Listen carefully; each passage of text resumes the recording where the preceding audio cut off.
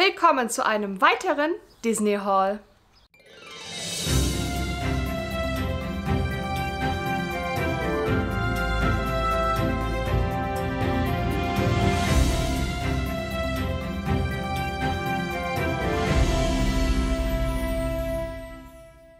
Hallo meine Lieben und schön, dass ihr wieder eingeschaltet habt zum Disney Juni Haul.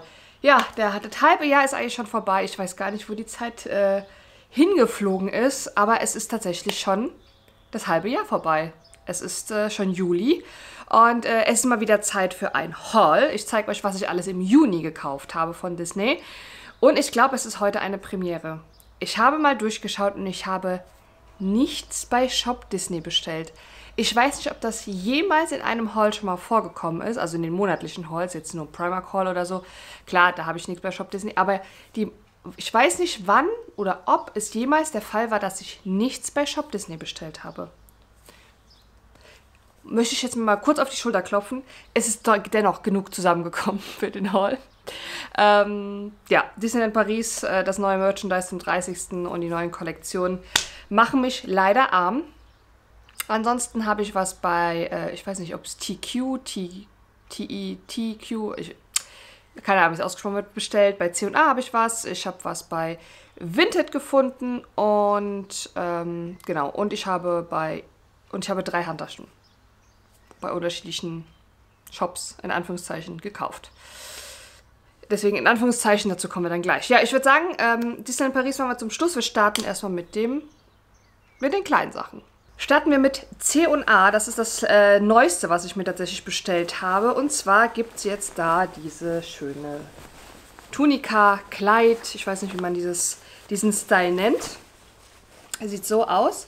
Und äh, ich, dieser Stoff kommt euch vielleicht bekannt vor, denn letztes Jahr bei Primark gab es tatsächlich einen ähnlichen Stoff, auch mit Kleidern, aber mit Spaghetti-Trägern. Ähm, waren, sind auch sehr luftig, aber fast ähnlich geschnitten, also auch so sehr weit geschnitten. Und äh, ja, jetzt hat C&A diese Kleider hier rausgebracht. Ich finde sie super. Man kann eine Leggings drunter ziehen, aber man kann sie auch so im Sommer anziehen, ohne eine Leggings und Strumpfhose.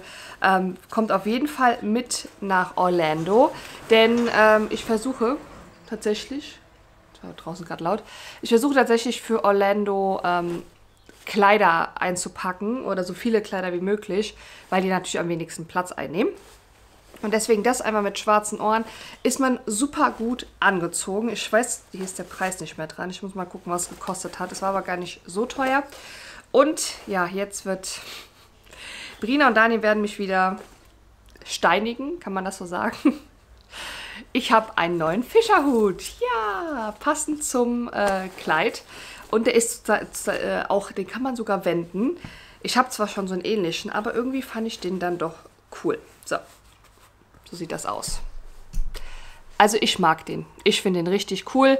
Äh, und wie gesagt, man kann ihn wenden, dann ist er komplett nur schwarz, dezent. Hat dann halt nur diese Mickey an der Seite. Mit Zettel drin ist so.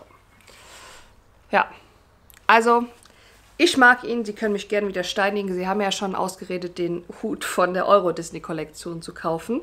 Ähm, den durfte ich mir nicht kaufen, sonst äh, hätte Brina mir wahrscheinlich die Freundschaft gekündigt. Nee, Quatsch. Aber ja, der Hut. Jetzt muss ich aber gucken, was die Sachen gekostet haben, weil C&A hat zwar Schilder dran, aber kein Preis mehr. Also das Kleid war 30 Euro und der Hut war 13. Äh, C&A hat jetzt auch gerade viele Sachen im Sale, äh, unter anderem die Shorts, die ich euch mal gezeigt habe. Ähm, schaut da gerne bei C&A vorbei. Ich glaube, das wird auch irgendwann im Sale sein, aber ich wollte es dann jetzt, jetzt schon haben. Ich bin halt, manch, bei manchen Sachen kann ich bis zum Sale warten, aber bei sowas irgendwie nicht. Ähm, ich packe euch natürlich auch alle Links unten in die Infobox zu den Sachen. Ja, das war C&A. Machen wir weiter und zwar bei Reserved habe ich ein T-Shirt bestellt und zwar hier dieses. Ich, ich bin ja bei T-Shirts mittlerweile sehr zurückhaltend und sage mir, okay, du hast so viele T-Shirts, obwohl bei diesem Häuschen sind wieder ein paar T-Shirts dabei. Aber das fand ich irgendwie cool, äh, dieses pinke, da kann man gut in den Rock stecken und äh, dieser bunte Disney-Schriftzug und äh, hier oben steht You are never too old for Disney. Ja, hat auch nur 13 Euro gekostet. Äh, ich trage Größe, also ich habe hier Größe S. Übrigens, das Kleid von C&A ist Größe 40. Ähm, das interessiert euch ja auch immer, welche Größen ich so trage. Also das T-Shirt ist Größe S. Es fällt relativ groß aus. Link auch unten in der Infobox, wenn es noch online ist. Und dann habe ich was gefunden bei Vinted. Ich schaue hin und wieder mal bei Vinted vorbei. Und ähm, der, die Eröffnung vom Avengers Campus steht ja kurz bevor. Und äh, wir planen ja am 10. Juli da zu sein, am 16., 17. Juli für die Preview-Tage. Also nur am 16., weil man darf, kann ja nur einen Preview-Tag auswählen. Und wir wollen am 16. direkt hin für die Infinity-Jahreskartenhalter und am 20. zur richtigen Eröffnung planen wir auch nochmal hinzufahren. Deswegen brauche ich drei Marvel-Outfits. Und das erste habe ich bei Vinted gefunden und zwar für den 10. Juli. Und zwar dieses süße Groot-Kleid. Also ihr seht, Groot in verschiedenen ja, Szenen, Positionen, was auch immer äh, inklusive kleiner Rosen. Ich finde das wirklich ein super, super süßes Sommerkleid, ist so ein T-Shirt-Kleid. Äh, ich habe jetzt hier XL, ich weiß gar nicht woher. Ich glaube, vielleicht gab es mal bei EMP, ich habe keine Ahnung. Ähm, ja, das ziehe ich auf jeden Fall dann am 10. an, inklusive Groot-Ohren, die mir Brina ausleiht. Aber man könnte auch jetzt einen Blumenkranz oder so dazu äh, ganz gut anziehen. Also, das ist mein Outfit für den 10. Am 16. mache ich ein Ironman Bound. Und am 20. wollte ich mein Captain America Kleid anziehen. Ja. Ich bin ja nicht der größte Marvel-Fan, aber das Kleid zum Beispiel, das kann ich ja auch super mitnehmen nach Orlando. Es ist klein und es passt zur neuen Attraktion in Epcot zu Guardians of the Galaxy Cosmic Rewind. Deswegen per perfekt. 2 in 1 direkt abgeschlossen. Da brauche ich Brinas Ohren wieder. Brina, ich brauche deine Ohren auch für Orlando. Ja, machen wir weiter mit den Handtaschen. Ja, wie gesagt, drei neue Handtaschen äh, letzten Monat dazu gekommen. Eine aus Walt Disney World und zwar war die liebe Ellie im Walt Disney World und ich habe ihre Stories verfolgt. Ich liebe das ja eh, wenn andere Leute ähm, im Walt Disney World sind oder jetzt gestern wurde die Disney Wish getauft und äh, jetzt sind tatsächlich auch Freunde von mir auf der Disney Wish ähm, aus Amerika auf der Jungfernfahrt. Und ich liebe es, diese Stories zu gucken. Ich saug das auf und denke mir, oh, wann kannst du auf die Disney Wish? Das Problem ist, Disney Wish, also ist total off-topic, aber egal. Die Disney Wish fährt ja nur zurzeit aus Port Canaveral und das heißt, man müsste einen Trip äh, mit Walt Disney World verbinden. Aber das mit im September machen wir das auf gar keinen Fall. Ich habe auch keinen Urlaub mehr dafür und auch kein Geld. Dieses Jahr bin ich ähm, ausge, ausgebrannt, was das Geld angeht, mit zwei Walt Disney World Trips. Aber mal gucken, die nächsten Jahre, vielleicht, keine Ahnung, dass man so eineinhalb Wochen, eine Woche irgendwie Walt Disney World macht und dann noch irgendwie dann die Disney Wish dranhängt oder in between oder so. Aber das ist alles noch in den Sternen. Mal gucken. Aber die Ellie war in Walt Disney World und hat mir diese Handtasche mitgebracht. Die ist von Loungefly aus der Walt Collection. Das ist vorne. Und hinten sind die Country Bears. Und ich finde die Tasche richtig cool und sie sieht ja tatsächlich sehr ähnlich der Coach-Tasche aus, die es ja gibt, ähm, für 650 Euro. Und äh, vom Stil her sind die ja tatsächlich sehr, sehr ähnlich. Also die ist ja auch so quadratisch. Und äh, ich habe dafür jetzt, glaube ich, 79 Dollar bezahlt. Plus dann halt Versand ähm, bei der Ellie. Ähm, ich kann euch das Innenleben. Da steht Walt Disney World drin. Ja, passt sehr viel rein. Ich finde sie wirklich super schön, sehr sommerlich und ich kann mir vorstellen, sie auch mitzunehmen im September. Ich bin ja, im, ich bin, wir sind ja schon krass am Plan, was Outfits angeht. Aber sowas wie Handtaschen, das muss halt zu allen Outfits passen. Deswegen, ja, vom Farb her weiß ich nicht. Aber sie ist trotzdem super schön und wird auf jeden Fall hier oft dann getragen. Die nächste Tasche habe ich bei der Nadine bestellt oder bestellt, gekauft. Nadine hatte ein ähm, Insta-Sale gemacht und äh, mit Taschen und als ich die gesehen habe, dachte ich, also die schreit nach mir. Und ich habe es tatsächlich vorher noch nie gesehen. Und deswegen, ja, ich glaube, ich habe 50 Euro mit Versand, ohne Versand, ohne den Dreh bei ihr bezahlt. Das weiß ich jetzt nicht mehr. Und zwar, I mean, eine Madame Porty Handtasche. Ich als größter Schön und das Biest-Fan die ist tatsächlich von Danielle Nicole. Hier ist auch Tassilo noch dran. Und also, ich bin tatsächlich sehr verliebt in diese Tasche. Jetzt muss ich mir nur noch diese Ohren nachbasteln, die Brina sich ja schon nachgebastelt mit den Blumen und Madame Portier obendrauf. Und dann habe ich das perfekte äh, Disney-Outfit, ja. Also passt auch einigermaßen viel rein, obwohl sie ja sehr flach aussieht, aber sie ist sehr tief. Und ja, also als ich die gesehen habe, dachte ich, die muss ich haben als Schön und das Biest-Fan und bin sehr happy darüber.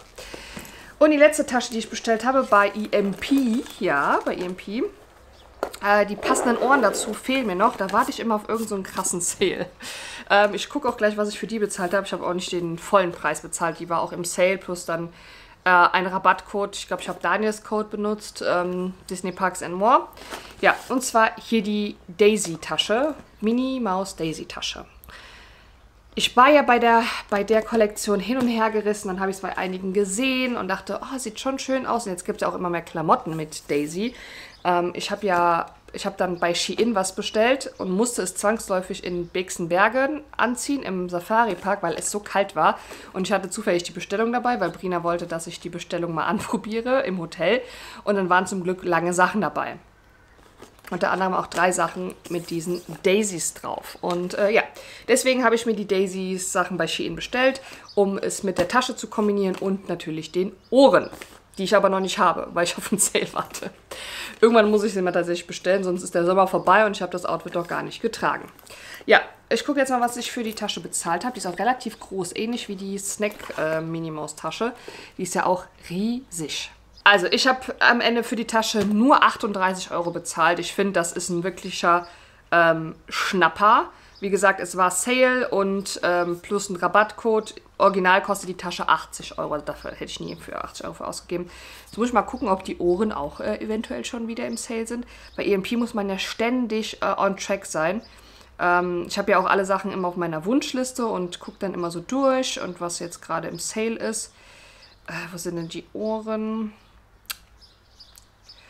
Ja, die sind tatsächlich gerade minus 31 Prozent. Vielleicht muss ich mir jetzt mal, mal, endlich mal bestellen. Gerade kosten sie nur 24 Euro plus dann halt Rabattcode. Vielleicht komme ich dann gerade unter, unter 20 Euro. Ja, also die Tasche von EMP. Jetzt kommt es nur noch von TQ die Sachen. Und dann kommt schon Disney in Paris. Ja, ich habe euch ja bei TQ vorgestellt vor, ich glaube, letzt, vorletztem Haul, wo ich auch den Jersey bekommen habe von denen und einen Rabattcode hatte. Ich habe dann selbst mit meinem Rabattcode bestellt. Und zwar habe ich ja schon lange mit dieser Tunika geliebäugelt.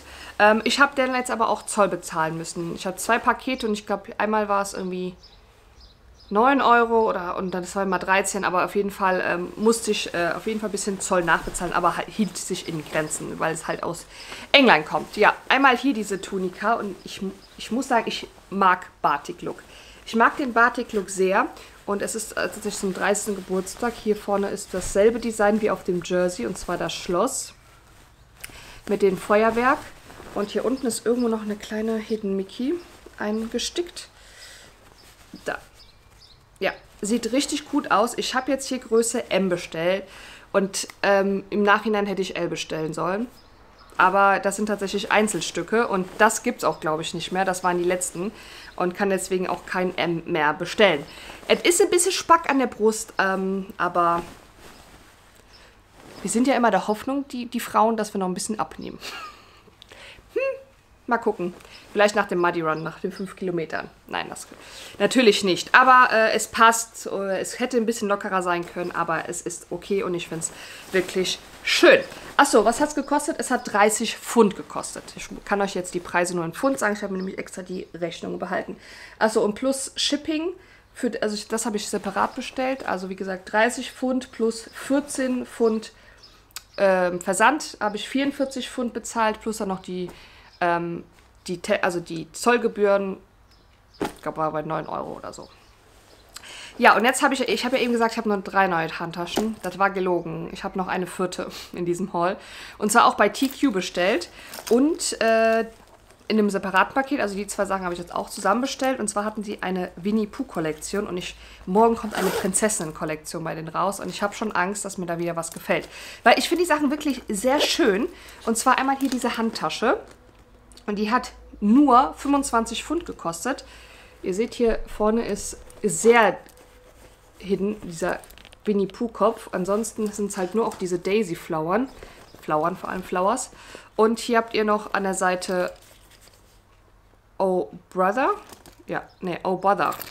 Oh Brother stehen. Und ansonsten ist es halt eine sehr dezente Winnie Pooh Tasche. Und ich mag ja eh diese dicken äh, Umhänge Schulterriemen. Also die war dabei jetzt beim Paket für 25 Pfund und passend dazu das Winnie Pooh Kleid, was auch sehr dezent gehalten ist. Und hier habe ich tatsächlich L bestellt und es passt perfekt, auch für 30 Pfund. Also ich muss sagen, ich bin ja voll der Fan von diesen Tuniken. Und äh, ja, hier vorne habt ihr Honey und so einen kleinen Winnie Pooh Hint. Aber wirklich super dezent, kann ich auch im Büro anziehen und äh, es fällt gar nicht auf, dass es wirklich krass die Winnie Pooh ist, nur wenn man es wirklich ähm, wenn man genau hinsieht. Also richtig schönes Paket. Äh, ich hatte dann, wie gesagt, meinen Rabattcode genutzt und mit Versand habe ich für die beiden Sachen dann 63,50 bezahlt, plus dann halt die äh, Zollgebühren. Bei, bei DHL ist ja immer so, man zahlt automatisch 6 Euro und dann halt prozentual den Warenwert der Sachen. Und deswegen, also 6 Euro müsst ihr immer bezahlen bei DHL. Äh, genau. Ja, das waren die Sachen von TQ. Wie gesagt, finde ich richtig schön und äh, bin gespannt, was bei der Prinzessin-Kollektion rauskommt und ob ich mir was bestelle. Aber mein Code geht leider nicht mehr. Es tut mir leid. Ähm, ja, jetzt kommen wir zu Disneyland Paris. Ich habe es jetzt mal ein bisschen sortiert von, zu, von Kollektion zu Kollektion. Ähm, fangen wir aber an mit ähm, einem neuen Schmuckstück. Und zwar habe ich das ähm, bei Arribas bestellt. Es gibt es aber auch vor Ort, deswegen packe ich es hier rein ähm, weil ich hatte Angst, dass ich es vor Ort nicht bekomme. Vor Ort hätte ich zwar noch den Jahreskartenrabatt bekommen, aber ja, bei manchen Sachen muss man halt in den sauren Apfel beißen. Und zwar ist es diese Kette. Seht ihr das? Oh, das ist so schön. Ah, ich halte es mal hier oben, damit ihr auch das in voller Pracht... Ja, sagen Fail. Aber ich kann euch den Verschluss mal zeigen, da ist nämlich auch ein Mickey dran. Ja, also das ist die Kette. Und ihr seht, da ist noch kleiner Mickey am Verschluss. Die Schlüsselkette zum 30. Geburtstag. Und ich muss sagen, sie ist einfach wunderschön. Kostet 69 Euro. Und ich liebe sie. Ich werde sie auch gleich direkt anziehen, weil, ähm, ja, nach dem Haul. Ich warte, ich ziehe die Sachen nie an, bis auf den Haul. Und dann freue ich mich immer und dann kann ich Sachen eigentlich auch wieder anziehen. ähm, ja, wie gesagt, 69 Euro. Ich finde sie sehr detail, äh, detailreich, vor allem das Schloss, wenn man sich das so anguckt. Ja, große Liebe an diese Kette. Dann äh, aus der ähm, lila Kollektion, würde ich jetzt mal sagen, aus der Ursprungskollektion, habe ich auch endlich mir das T-Shirt gekauft. Oder es, besser gesagt, der Daniel hat mir das T-Shirt gekauft, als er da war, weil ich auch Angst hatte, dass äh, es dann ausverkauft ist, bis ich wieder da bin. Aber tatsächlich wurde jetzt viel gerestockt. Ähm, als beim letzten Mal da war, gab es das T-Shirt auch noch. Ja, es gab, äh, ich habe das jetzt in Größe M, weil es auch relativ groß ausfällt und es ist wirklich schön. Also als Brina es immer getragen hat mit dem Rock von der Steffi, habe ich gesagt, das willst du auch haben.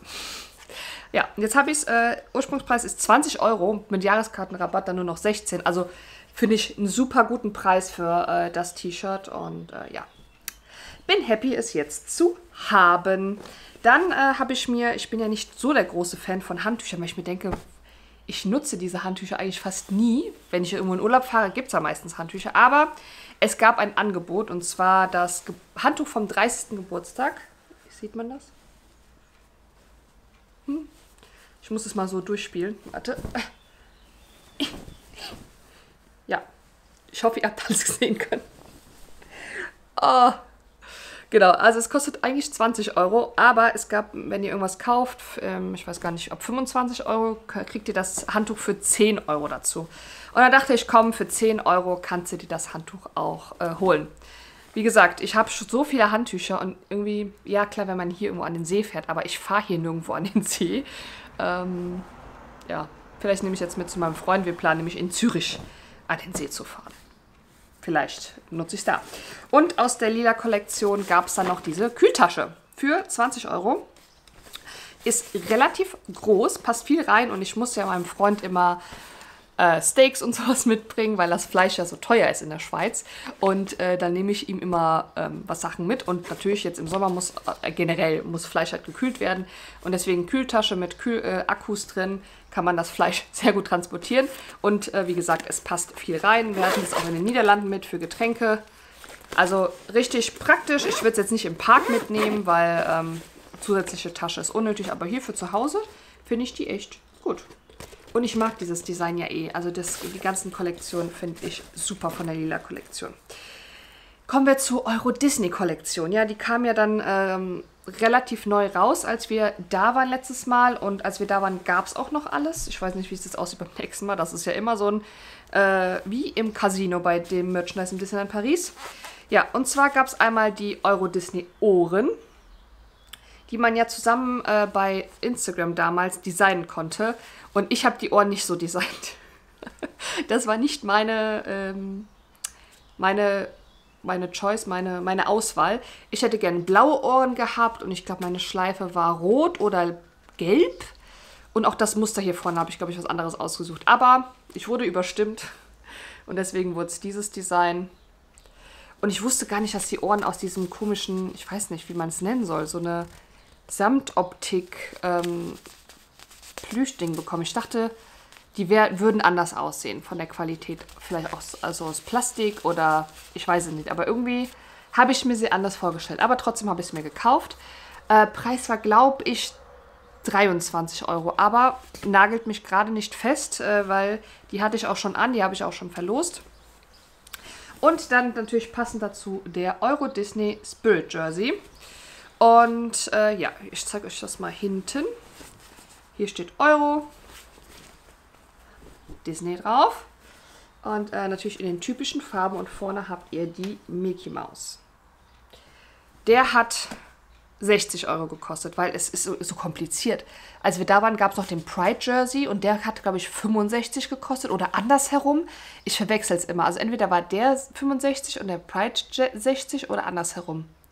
Ich weiß auch nicht, wie die die Preise machen. Warum hat der Pride, warum kostet das eine jetzt mehr als der andere? Weil es hier vorne noch so einen Druck gibt. Ich habe keine Ahnung. Auf jeden Fall, ja, trage ich immer Größe S in Jerseys. Das interessiert euch ja auch immer. Und dann gab es noch ein weiteres T-Shirt und zwar das T-Shirt aus der Euro Disney Kollektion. Äh, hat 26 Euro gekostet, habe ich auch schon angehabt, deswegen ist es so zerknittert und muss auch gleich mal in die Wäsche. Ähm, ja, wie Größe M und hat auch diesen Retro-Look. Daniel hat gemeint, das ist nicht das originale Euro Disney äh, aber ich finde es trotzdem richtig schön mit dem Mickey Sorcerer und dann gab es noch den Schlüsselanhänger für 6 Euro. Einmal vorne, einmal hinten. Ja. Fand ich auch süß. Und mein Geburtsdatum. Deswegen fand ich die Kollektion auch cool, weil überall mein Geburtsdatum draufsteht. Also Geburtsjahr. Ähm, ja, und jetzt äh, kam neulich auch noch die Sparkle Collection raus, äh, wo ich mich eigentlich sehr drauf gefreut habe. Also bei Loungeflies bin ich eh raus. Ich brauche äh, ich diese Loungefly-Rucksäcke nicht. Aber Ohren und Jersey hatte ich tatsächlich Panik, es nicht zu bekommen. So wie es aussieht, gibt es aber noch wohl en masse von diesen Sachen. Ob da jetzt der Hype nicht so drauf ist oder ob sie genug bestellt haben diesmal Disney in Paris, man weiß es nicht. Aber der liebe Disney-Opa, äh, wenn ihr seine Videos nicht kennt, schaut doch mal gerne bei ihm vorbei. Der macht immer Merchandise-Videos. Äh, hat mir die Sachen mitgebracht, netterweise, als er da war. Und zwar einmal die Ohren. Die kosten tatsächlich 30 Euro. Ja, so sehen sie von Namen aus. Also haben so äh, Paillettenohren. Die Schleife ist aus so einem Plastik. Und hier vorne habt ihr ein Schloss. Es ist aber nicht das Pariser Schloss. So von hinten.